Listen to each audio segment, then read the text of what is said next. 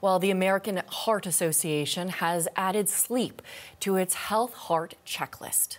It says getting enough sleep is one of life's essential eight. These are eight areas that can determine how strong a person's cardiovascular health is. So, how much sleep is enough? Well, for adults, seven to nine hours per night. Those who get less sleep than that run the risk of diabetes and hypertension. Well, for more on the new checklist, we are joined by Dr. Michael Farkouh. He is a prevention cardiologist at Peter Munk Cardiac Center in Toronto. Dr. Farkouh, welcome to the show. Let's start with this. Why is this change happening now? Well, Natalie, we know that there's residual risk from the traditional risk factors, such as cholesterol, smoking, and body and body weight.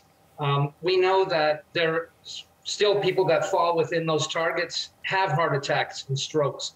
And so we're looking for other measures to reduce this, what we call residual risk. And sleep is one of them.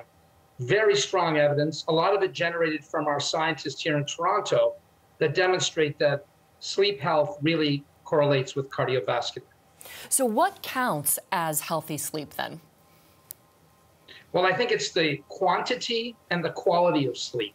They don't get much into the quality issue.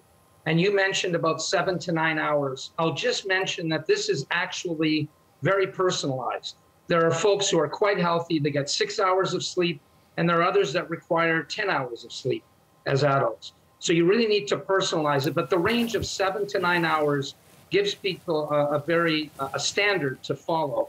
The other thing is quality of sleep. If your partner notices that you stop to stop uh, stop breathing at night, which is called apnea, or snore excessively, then that's when we trigger an evaluation on a sleep study. And we have many centers here in Canada that can actually evaluate the quality of your sleep. So let's go back to heart health just for a second specifically, because we know there are some other categories to monitor for that specific, sure. uh, you know, measure, metric. What are some of those other categories for heart health? Well, well, there's four behaviors and there's four measurements. The behaviors include diet, following what I love to call the Mediterranean diet, or what the American Heart calls the DASH diet, which is a low blood pressure uh, diet. Exercise, about 150 minutes in a week, a fairly vigorous exercise. Uh, and then, of course, re re refraining from nicotine has been one of the other behaviors in addition to sleep. And the measurements are blood cholesterol levels, the level of your blood glucose, uh, your weight, uh, and, um, and, and so those are the major factors that play into it, as well as blood pressure, the target being between 120 and 130 over 80, which is a fairly robust target. Just uh, very quickly here, you mentioned the Mediterranean diet, diet, exercise, nutrition, obviously a big part. The Mediterranean diet, for those who don't know, my husband is obsessed with this, but for those who don't know what that is, what is that?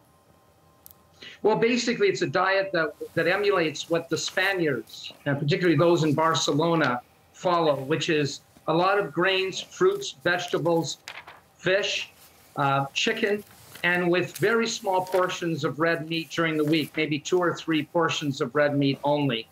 It also involves olive oil and the use of, of those types of uh, ingredients in salads and in our cooking. And now, quickly, just jumping to, to food here. We know that the American Health Association has come up with a new way to assess how well people are eating. What are the changes on that front? Well, I think it has to do with uh, a focus on caloric intake. There's a lot of obsession now with um, fasting diets, but it all comes down to the number of calories that you consume in a day and then following this Mediterranean or what they call a DASH diet, which focuses more on low sodium and management of hypertension. So there's just a checklist that you can go through and make sure that the diet that you follow uh, is compliant with their recommendations. What I ask patients to do is have a diary of their diet over a week or so and then go back and check it with the American Heart Checklist. So we have seen these changes coming up in the United States. Do you think they're going to be seen adopted here in Canada as well? There's no question. Uh, we are all members of the American Heart Association, those of us, of us in academic medicine. I serve on a number of American Heart committees, and uh, clearly the Canadians will follow suit. I think we're also in Canada focusing more on this residual risk, intake of alcohol, what people don't want to hear on a Canada Day weekend. But alcohol is one of the greatest toxins to the heart and needs to be um, that needs to be addressed, as does adverse childhood events. People that are exposed in childhood to uh, very stressful situations and neglect. These folks have chronic disease in the long run. And we're focusing a lot of that at the Peter Munk Cardiac Center to try to deal with these other risk factors that will become part of this essential eight. And talking a little bit about food in general, we know that here in Canada, starting in 2026, all packages with high levels of sugar, salt, saturated fat, that will come with clear warning labels in this country. It's part of an effort, as we know, to promote healthier eating choices and reduce chronic health risks. What do you make of all that? I think it's very important. We have individual interventions, and then we have societal or community interventions.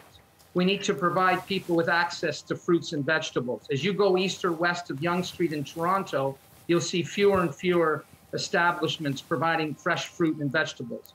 This needs to stop. This is part of the socio-economic gradient that we see. That will also be addressed.